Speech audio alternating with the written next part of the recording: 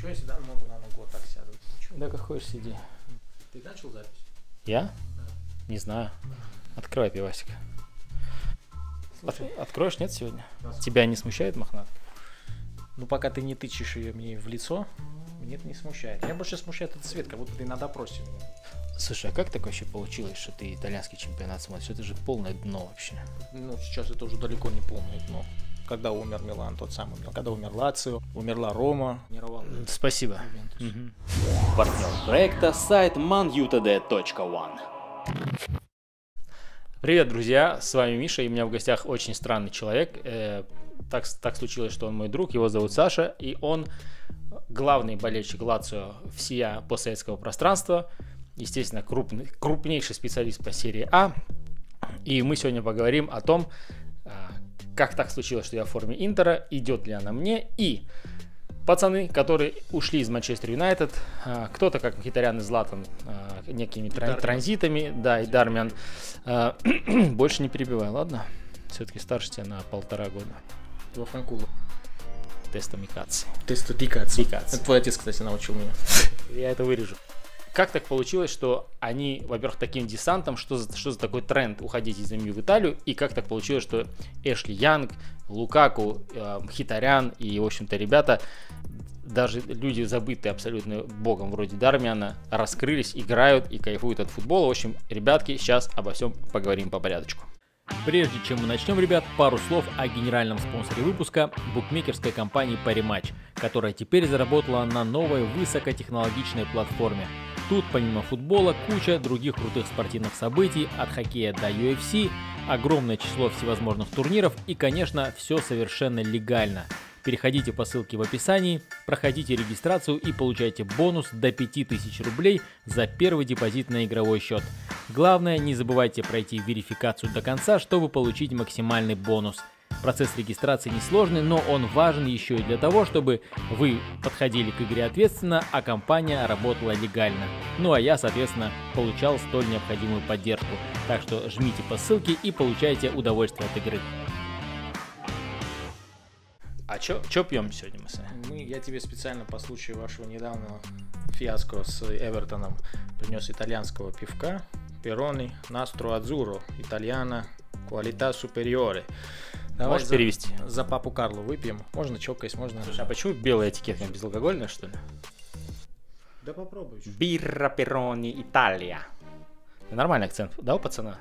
Слушай, а почему, а почему это э, еврейская звезда Давида здесь не изображена? Шестиугольная. Ну, это Рома. Это же не Лацио. Ты знал, что в Лацио молодежке пацан поднимается? Праправнук Муссолини.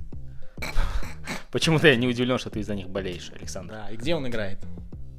Справа? Они же ультраправые все. А ты теперь представь, сколько семенной жидкости прольется, если пацан в основе, в дерби забьет победный, побежит к трибуне и отсалютует, как его пра- прадед. Ребят, я вам почти обещаю, что этот человек у нас на подкасте последний раз, так что потерпите немножко. Кстати, пивко нормальное, с горчинкой, как ты любишь. Как ты в Тбилиси пил топадзе пиво в 90-е, вот такое же. Горькое, как и все в 90-е. Как матч с Эвертоном. Да пошел ты. Давай, давай, может, начнем. Ост- Оставим на закуску человека, который ушел из МЮ и теперь играет в, в- в Лацио. Легенда... Самый, самый легендарный из всего списка человек. А, Начнем, наверное, с Интера, потому что там колоссальный десант. Да, ну не с Ромы же начнем. да. У меня же какие-то принципы должны быть в жизни. ну, я напомню, у болельщиков Лацио какие-то принципы в жизни да есть. В общем, э, Эшли Янг. Ну да, не будем... Да, с капитана начать. Да, ну, может, ну, не будем прямо сильно долго, все-таки это Эшли Янг. Но вот в МЮ он был, во- во-первых, ну никто не отдавал ему должного, что он человек в жизни поменял позицию, будучи Сексуальную? очень сексуальную позицию, будучи очень возрастным, да, он спахивал всю бровку, стар- но- но все старания Эшли Янга, они просто разбивались о стену непонимания в команде, и его навесы, в общем, вызывали ярую ненависть у болельщиков МЮ. И что же с ним случилось в Италии? До того, пока с ним случилось в Италии, с ним просто случилось то, что он пос- постарел. И Юнайтед не был готов ему предлагать двухлетний контракт. Ну, И с окладом, в общем, условия, по условиям они не сошлись. Сульшер сказал, что Конечно, он для нас много всего сделал, но время пришло прощаться, ставка на молодых, ну, в общем, все, что говорят в этих си- ситуациях. И в это время подвернулся Интер, и как сам, Лу- сам Эшли Янг сказал, что как только он узнал про вариант, сразу сказал, что вылетаем там чуть ли не первым рейсом, где надо подписать. То есть он реально понимал, что в его возрасте это последний серьезный контракт, последний серьезный клуб, который го- готов в него поверить. И я так понимаю, тут лично Конте, фактор Конте сыграл. Э, У них вроде как была травма колена у Квадру Асамоа, м, у Интера, и им надо было закрывать эту позицию, и вот на это все... Слушай, ты что, подготовился, что ли, прежде чем сюда прийти? Я почитал чуток просто на досуге, когда ты меня вызвал из не- небытия и поставил перед этот свет, который как при допросе. Вот. Знакомая ну, для тебя ситуация, да? да. А, ну и в общем ты считаешь, что э, Эшли Янг, он в целом как бы парень Эшли Янг, ну ты учти, что еще для Италии 35, 32, 36, 40 это вообще не возраст, у ребят только начинается. Коста Курта только Коста подавал только- надежды только- 46 лет. только, Столько в юношескую команду Милана только его перевели. В 50 только подняли в основную, там уже Мальдини там 49, Саш, ты, не, ты плохо подготовился. Вот. И понятно, что для Италии возраст это, как мы сейчас уже на примере огромного количества игроков увидели, что возраст это вообще не, не главное в Италии. В этом сезоне он провел уже 24 матча. Ну, то есть, как бы Эшли основной футболист. Я, я попадал на несколько Конте матчей делает Интера. на него став- ставку, однозначно Конте делает на него ставку, и вообще команда четко собирается под Конте, Интер собирается, и не случайно Конте истерит, в случае чего наезжает на свое руководство, если его там чуть-чуть э, не обеспечили нужными игроками. То есть понятно, что все игроки, о которых мы будем сейчас говорить, касательно Интера, это личная просьба, личное пожелание Антонио Конте. То есть, если бы в свое время Конте вместо Челси пришел в МЮ, Ну, по крайней мере, по Лукаку точно была информация, что он хотел его в Челси. по крайней мере, то Челси не стал бы чемпионом. Ну, это как в Вуду карта ляжет. Легла бы. Александр а, владеет несколькими неизвестными афоризмами древнеримскими. Древнезлатинский. Давай выпьем за Эшли и пойдем дальше. Коротко можешь сказать про Дармиана? Потому что в МЮ он... Тут тоже самая ситуация. Э, Конте, э, я так понимаю, что это по работе с Адзури. Идет, да, футболочка? Ничего, ты умеешь окрасить себя во всякие цвета. Вот. Дармиан это чисто идея Конте по работе с Адзури. Закрывал он ему все проблемы, рабо- работяга. Ну и в принципе видно, что Он, парень- Кон- он Конте закрывал, он Конте потому- пере- перекрывал. Потому он его ставит, да? Да. И, соответственно, сейчас тоже он и погоду не портит, и играет добротно. То есть то, что тренер, тренер от него хочет, он ему дает эти, эти характеристики. В интернете все троллят Конте, что у него незамысловатый футбол, что он очень... а, Конте очень, ну, не гибкий тренер. Ну, может быть, это и вот как раз все, все эти трансферы как раз и...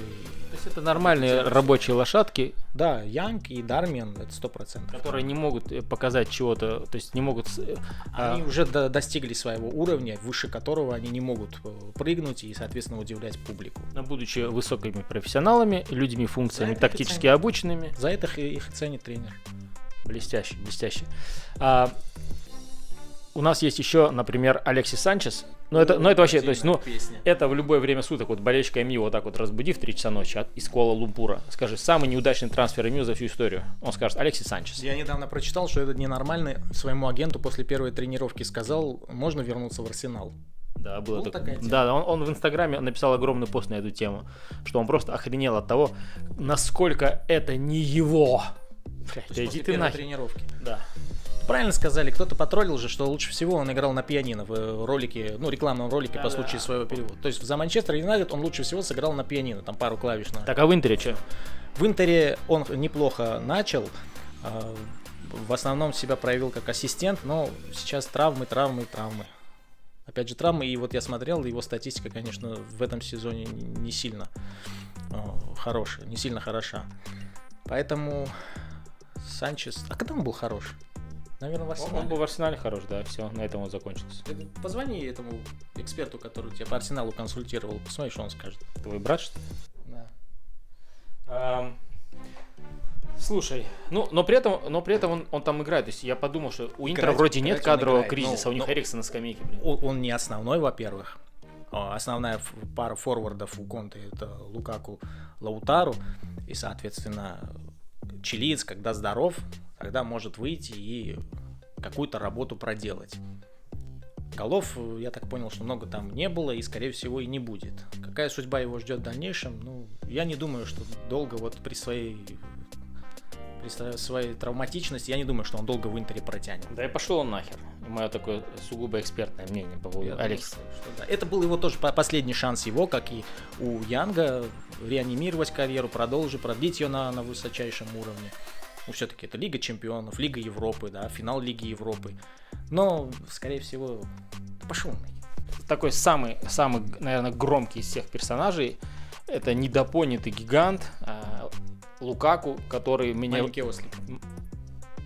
Ты знал прикол? Я сегодня прочитал, что, оказывается, маленький ослик – это не просто не обзывательство, а в Англии так называют технический слабо оснащенных футболистов. И Златан его троллил. А там у них был спор, если ты знаешь, ну ты расскажешь, ты же болельщик Юнайтед. Что Златан бабки ему за любую техническую обработку мяча, он ему там обещал тити-мити чуть-чуть.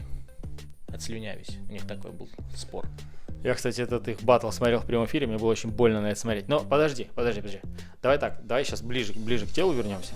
А, мне очень, мне очень нравилось э, в Лукаку, что он сугубо командный футболист. Он, он э, гораздо лучше Решфорда и Марсиаля, понимал, когда нужно отдавать пас, как его нужно отдавать. Ну, то, что сейчас делает, например, Кавани. но, но при этом, как сам, как тип, как типаж э, форварда, он не подошел Сульшеру, Сульшер от него избавился, еще там все это происходило с микроконфликтом. Подожди, а Мауриньо? Не, у Мауриньо он играл, ну как по, в меру своей испорченности он Какая играл. статистика у него была при Мауриньо? Ну, в самый лучший свой сезон он забил где-то под 30. Да, вполне. Не, ну да, ну такой что-то был один сезон, и вот последний сезон он, он выдал, он, он слабее был. В общем, а, в общем-то говоря, что, а, что Лукаку, что Ибрагимович, это, это скорее да, под Мауриньо такой мощный форвард. И очень много было хейта. В общем-то, Англия его как-то вытеснила и там какие-то неиспользованные моменты. Знаешь, как бывает? А, форвард форварду, то есть один, два форварда могут одни и те же моменты э, запарывать, при этом одного будут обсирать фанаты, а другого бесконечно любить. Есть такое, есть такое. Его не приняли. Думаешь, потому что он черный? Что в Интере случилось? В Интере случилось то, что, во-первых, его посадили на какую-то там жесткую диету, и он сразу сбросил 3 килограмма. Для конты диеты очень важны. А я напомню, итальянская кухня, она очень и диетична. Там очень, кстати, интересно, я, кстати, когда готовился к тебе, прочитал, что э, у них там... Ты когда готовился ко мне, ты помылся подмылся. Вот. И из этой всей когорты ребят, которые ушли в Интер, он больше всех дает интервью, давал интервью относительно своего прошлого в Юнайтед. И была даже такая тема, что э, якобы он э, их переманивал в Интер и говорил, что в Интере, в отличие от МЮ, нет клановости. Я не знаю, какая клановость там у вас была э, в Юнайтед. Я напомню, что в Италии клановости так, такого вообще понятия не существует. Вот, и в Юнайтед у него была клановость, а Интер якобы для него это единая семья, и когда он переманивал Санчеса, Янга, да, Санчеса, Янга. Дармиана. Дармиана, куда он нахер переманивал. Вот. Они даже не знакомы, мне кажется. Я тоже уверен, что не знакомы до сих пор. Да. И вот он, он больше всех э, разговаривал, давал интервью по поводу Юнайтед, что его там не ценили, что вот он то, свой уровень он показывает сейчас и тогда показывал, но это не признали, ему было очень обидно, больно от этого, что он ходит в топ-5 нападающих. Ну, в общем, парень, э, в принципе, не только балаболит, но и вот статистику зачитал и делами показывал. В прошлом сезоне 34 гола, 6 ассистов. 51 матч. Если бы он в свои ворота в финале не забил бы, конечно, это... Я очень расстроился в этот момент. Мне прям больно за него было, честно. Да, он говорил, что там несколько, 4 дня просто ни с кем не разговаривал. Вот, поэтому Лукаку из всей, из всей, из всей вот этой банды, которая пришла, он, конечно, на максимальном позитиве. Он молодой парень, у него все впереди, тренер его, он комфортно себя чувствует. Давай, Вы... красивый тост, за, можешь сказать за Ромчика? Я не знаю африканских тостов. А, Касательно Интера, если можно подвести такой общий, общий знаменатель, это здесь это трен, тренерская задумка. Ребята все классно вошли, классно себя чувствуют. Кто-то, да, доигрывает последние, последние годы, последние контракты свои будет э, играть. Кто-то на подъеме и все. В случае с Янгом будет вообще доживать ему да. 80 сколько лет. Да. И а что касается вот кон- конкретно Лукаку, то он будет играть, и все зависит теперь от судьбы Конты и тех результатов, которые он даст. тандем, у них химия между ними вообще без вопросов, все, все классно. Поэтому вот, вот так, вот так. А когда сейчас будем говорить про Рому, мне достать армянский коньяк или не будем мешать? Да за самого лучшего из армян? Да. Да давай пивком. Хорошо. Ну, э, давай. По Вот- Роме сам разговаривай, я игры Ромы ну, не так много смотрю, сейчас это я прикалываюсь, конечно, нет никакой дикой, я же не тифози в конце концов. Но Генрих, э, я, например, сейчас смотрел недавнюю игру их с Ювентусом, э, он в этой игре был не сильно заметен, он играл слева, Как и в игре с Лацио, когда мы их полностью урыли и ушатали без шансов. То есть э, у Генриха все вроде как, то есть он, ну, по, по голам, по крайней мере, у него поперло в Роме, но... Гол плюс пас, у него шикарная статистика. Сейчас поищу. Тот же самый, ну, Генрих это отдельный, э, отдельный разговор в том плане, что он очень сильно зависит от, от психологии. То есть для него очень важна, важен тренер, для него очень... В этом сезоне 11 голов, 10 ассистов. О, видишь, какая статистика. Надо теперь грешным делом на досуге сравнить с топовой статистикой в Боруссии и посмотреть, на каком он уровне. Опять же, да, он возрастной, но уже говорили, в Италии возраст это вообще не, не показатель. Прошлый сезон 9 плюс 6. Ну вот. Это учитывая, что он все-таки травма, травматичный парень и не играет все игры от звонка до звонка. Но при этом, кстати, человек к нам приехал в 27 лет, да, сейчас, соответственно, ему там уже тридцатник, Я, я тебе говорю, это Генрих. 32 ему уже. Генрих это... Вот он, он мальчик. Смотри, извини, ты как раз хотел статистику Бундеслиги, сезон 15-16, 23 гола, 32 ассиста, блядь, ты о чем вообще говоришь? Ну, это полный сезон, сейчас что сезон не закончен. Ну, Ну, ты- навряд ли, ты что он, на- посмотри, какие навряд ли цифры. он набьет. Ну, по, Ты ассистам, болеешь, по ассистам, У него возможно, гол плюс пас больше, чем 52 матча вообще. это, наверное, больше, чем сезон. один. Ну, Я просто на шару 15-16 ввел. ну, возможно, тогда надо сравнивать с вашим первым сезоном. Э, В общем, Генрих это чувак, который сильно зависит от психологии. Для него очень важно попасть на своего тренера. 11 плюс 5 первый сезон за нас. А сейчас сколько в Роме? Что-то похожее. 9-6 было, кажется. точно. Да, но я бы не сказал, что сезон в Юнайтед у него провальный случился. Да понимаешь, в чем дело? Дело же не только в цифрах. А, Мы ждали, нам, нам нужен после ухода Руни, нам нужен был человек какой-то некий плеймейкер. Мы понимали, что вот у нас там есть, у нас есть Златан, у нас на- но нам не хватало, нам не хватало именно креативного футболиста после ухода вот какой-то определенной плеяды. И Генрих начал было. а, Во-первых, он забивал красивые мячи, этим очень сильно подкупал. Но когда, а, но когда у Мауриньо повысились требования, когда нужно, когда стало понятно, что этот человек должен, ну, как, как сейчас играет Бруно, да, он должен быть везде, абсолютно, он должен покрывать своим телом все поле. Мхитарян это, это, как мне кажется, просто я сам с очень многими говорил там армянскими друзьями, э, все, естественно, все, все ненавидят Мауриньо, э, все исключительно обвиняют только Мауриньо. Да, что касается конфликта с ним Сам и какого-то... Тоже, по-моему, в интервью Красаве тоже на это намекнул, что я делал все, что мог, я приходил раньше всех, уходил позже всех, то есть, ну, Безусловно, э- это- он это делал всё- пос- он- посыл. Я делал все, что мог, но не, сло- не срослось. Да, да, что да. я еще говорит, должен был сделать, чтобы этому человеку показать и доказать свою профпригодность? Он Мхитарян рассказывал, как какие-то вообще там были глупые случаи, то есть на тренировках вдруг, вдруг там Маурини мог какую-то язву в его сторону отпустить. Ну, как, в общем, это, это фактор Мауриньо человеческий, здесь базара нет. Если говорить чисто о футболе, из того просто, что я видел своими глазами, э, во-первых, Мхитарян э, плохо играл под высоким прессингом, и ну, он, он не вытягивал такой большой объем. Это, это не тот, это не человек-магнит, это, это не человек Бруно. А нам, вот почему мы сейчас так, так кайфуем от Бруно, потому что мы наконец-то получили вот эту мессию долгожда. Мы, мы ждали мессию от человека. Второго с- Криштиану, да, пришествие второго грубо Вот говоря. как бы да, то есть Генрих как, как Нет, конечно, он нет, и потому что, вот я, я тебе говорю, вот он зависит от- 11-10 от- в этом сезоне. от тренера. Он зависит от тренера.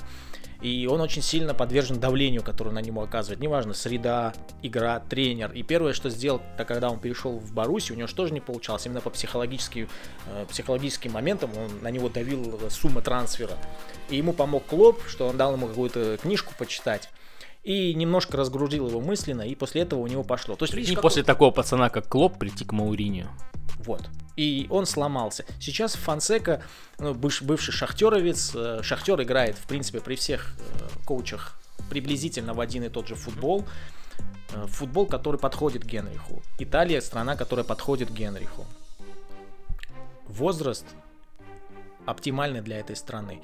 Он раскрылся, ему дали ну- нужную позицию на поле, и все, он будет играть. Сколько вот сейчас э, недавно пошла информация о том, что вроде клуб активировал право продления его контракта. Сейчас там Мину Райола, скорее всего, будет э, крутить финтить, чтобы выбить, наверное. Это также для него, возможно, тоже последний крупный контракт в топ-клубе для Генриха. А после этого, пожалуйста, Зенит и все остальные ребята выстроятся. То есть это та же самая ситуация. Он попал на своего тренера, попал в свою среду, попал в психологически комфортную команду и показывает результат. Генриху желаем, естественно, удачки. А, И пока ты рассказываешь про Криса Смолинга, я пойду за догонкой. Кто такой Крис Смолинг? Играет с косичками. Опять черный. Крис Смолинг. Иди сам расскажи про этого Криса Смолинга. Ты рассказываешь? Да, Ты рассказал? Да, конечно. Да, да, я все вполне детально разложил. Да.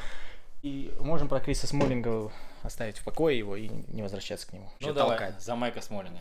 Давай. Интер, на Милан. Милан. Да, по, по поводу этого мальчика, который вот, вот в этой форме ходит. не знаю. Это на десерт. Смотри, вот Диогу Далот очень, очень качественный правозащитник. И, но у нас он с ним не сказать, что что-то было не так. Благодаря Далоту мы прошли в свое время ПСЖ, то есть на его счету легендарный гол. Но, естественно, он, ну, как бы там, о какой конкуренции речь, когда там такой человек, как Бисака, и, в общем-то, а оказалось, что в Милане он вполне себе пригодный. Мало времени еще прошло, по мне, как, и мало и у него игрового времени, и просто мало времени прошло, и до конца мне лично непонятно, чего он в Милане хочет, чего в Милане от него хотят. Посмотри свою статистику. А, кстати, про ПСЖ ты, ты сказал, и я вспомнил, что, готовясь к твоему допросу, 17 матчей в этом сезоне. ну, я не думаю, что они все в основе. Так что про Далота ты что Я, я не знаю, ничего я не могу сказать, то же самое. А зачем я тебя позвал? Ну, А, ты же пиво принес, в пиво, принципе. да. Ты уже заплатил. Я уже заплатил. Ну, в общем-то, Далот играет, я очень за него рад. Если тебе нет ничего подробно, что про него сказать, то уходи. А, да, давай про каратиста поговорим. Каратист уходил не напрямую э, в Милан. Уходил он, вроде как все думали, после серьезной, ужаснейшей травмы, которую он получил у вас в Лиге Европы, когда его колено там чуть ли не Но он сам в, обра- в- так. да, в обратную сторону отъехало. И, соответственно, когда он уезжал в МЛС, все думали, что... А эстонская это ничего. Ну, ты его любишь, конечно. С Хинкали тот раз. Не помнишь, как ты херачил его? Вот. Помню. Хочешь с Хинкали сходим? Давай нахер. Давай. One eternity later. И э, все думали, что что короля больше нет, что Лев уже все, свое отжил. Но появился на горизонте проблемный Милан, и Мессия пришел и навел порядок. Милан лидирует, во многом благодаря игре каратиста. И я бы сказал, что вот мы игроков бывших Юнайтед сейчас вспоминаем, но Ибра не один из бывших ваших игроков. Это вы один из бывших клубов Ибры. Вот я бы так сказал. Это правда. И парень делает разницу. Будет, конечно, замечательная история, просто волшебная история, если Милан в этом году возьмет Скудетто. На фоне проблемного Ювентуса, который уже, так как показывают последние игры, далеко, ну, избавляется от своих проблем и выходит на тропу побед. На фоне Наполи, на фоне Интера, которого пока тоже непонятно, вроде как шатает. У Милана есть неплохие шансы забрать себе Скудетто, и это будет поистине красивая история. Поэтому за Ибру, конечно. За Ибру отдельно. Ну, братан, у нас остался, в принципе, десерт. У нас остался а, человек, который играет за Лацио. Андреас Перейра. Самый загадочный из всех персонажей, перешедших из МЮ а, в итальянские клубы. Зачем вы нам его продали? Если- Ну что, деньги есть у нас, чтобы покупать его. В аренде он, да? Хотя бы в аренде, я надеюсь. Вы зачем покупали Перейра? Нет, Перейра ушел в аренду, во-первых. Хотя бы в аренде. Где у нас деньги, блин, ему платить за еще вам, за него? Вы Издеваетесь, что ли? Че Перейра-то? Перейра, не- кстати, неплохая статистика. В последнем туре он ассист отдал на пустые ворота. Вышел на замену. и сразу- Где он, он на какой позиции играет вообще? Я его наблюдал на позиции то ли второго нападающего, то ли разыгрывающего Луиса Альберто. Луис Альберто в современном Лацио это мозг, это мотор, это генератор идей. Также есть еще второй нападающий Хуакин Коре, и вот в матчах, где выходил на основе, как правило, подменял второго, напада- ну, играл вторым нападающим. Вот. Что, что дальше по нему будет, пока непонятно. Гол он уже забил, ассист уже отдал, учитывая то небольшое количество игрового времени, которое ему Симона Инзаги отводит. Неплохая статистика. Чего дальше будет, конечно, он по, по уровню креатива, по уровню работоспособности и по уровню даже пока понимания того, как играет современный Лацио, а современный Лацио это э, входит в топ клубов по топ контратакующих клубов. И какова роль а, Андреаса в этой схеме? Роль Андреас, я тебе говорю, если это, э, он, если это роль э, Луиса Альберто, то, конечно, он с ней не справляется. Никто в Лацио не справляется с ролью Луиса Альберто. Из того, что я видел, пока, пока он не понимает, пока он ну, себя не показывает. Вот и все. Есть у Симона Инзаги есть чет- четкий вы- выбор на каждую У позицию. меня для тебя очень плохие новости, Да. Александр. Вы, вы не забираете его назад в аренду? Нет, ты сказал, что он не показывает и не покажет. Отправьте его куда-нибудь.